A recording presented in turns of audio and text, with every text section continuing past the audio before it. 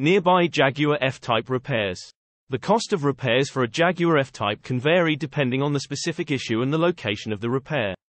It's important to take your vehicle to a reputable and certified Jaguar repair shop for accurate diagnosis and repair estimates.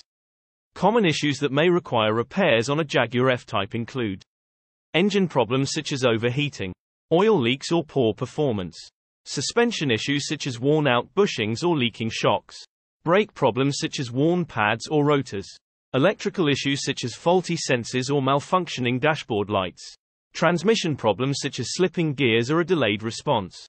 It's also important to keep in mind that regular maintenance, such as oil changes, tire rotations, and brake inspections can help prolong the life of your Jaguar F-Type and reduce the likelihood of costly repairs.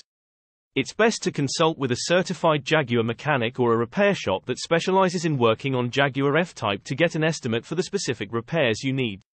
They will be able to diagnose the problem and provide you with an accurate estimate for the cost of the repairs.